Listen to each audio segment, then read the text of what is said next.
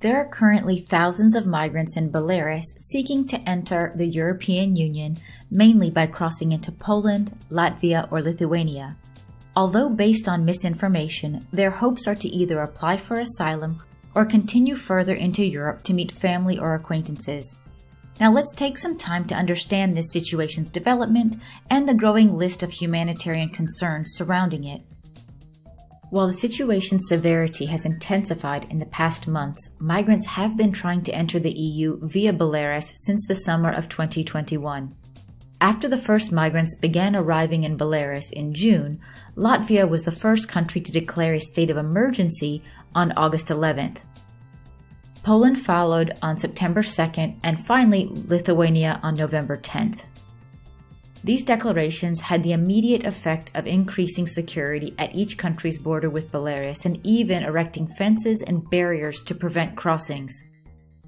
The most recent policy development came on December 1st, when the European Commission proposed allowing Poland, Latvia, and Lithuania to suspend certain aspects of European asylum law, which we'll look at shortly.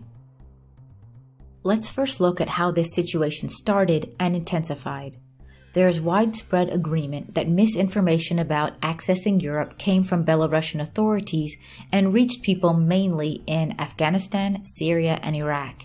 Specifically, people aspiring to reach Europe were told they could easily do so by exiting Belarus at unguarded EU borders.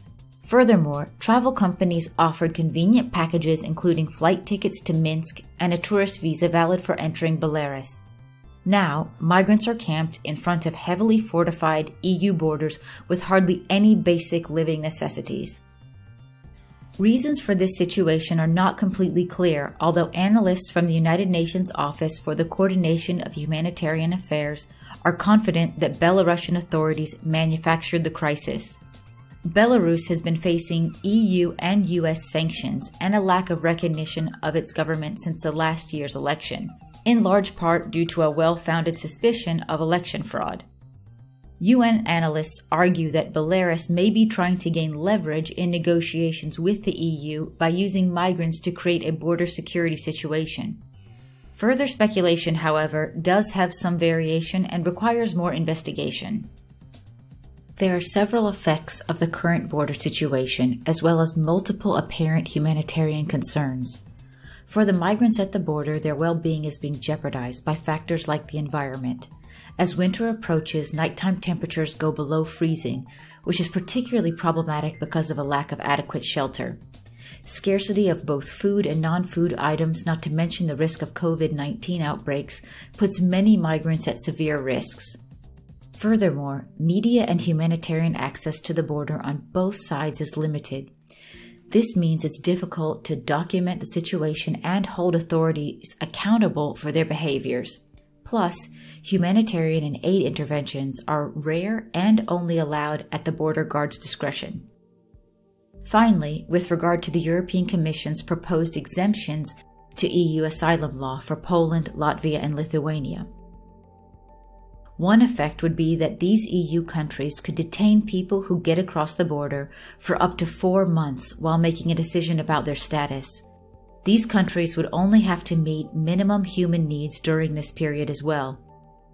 Furthermore, denied asylum seekers would be very quickly deported, whereas normally they can halt their expulsion by filing for an appeal of their asylum decision. The situation's current status is not extremely clear because the border remains largely inaccessible to reporters and aid workers. However, large news sources like the New York Times and The Economist estimated around 20,000 migrants in Belarus as of mid November. However, the International Organization for Migration's end of November estimate was around 7,000 people. There could be multiple explanations for these different estimates owing to different estimation techniques. We have seen that some migrants trying to enter the EU have begun returning to their origin countries in November. The Iraqi government has been flying its citizens back on a voluntary basis and has repatriated around 1,800 people by the end of November.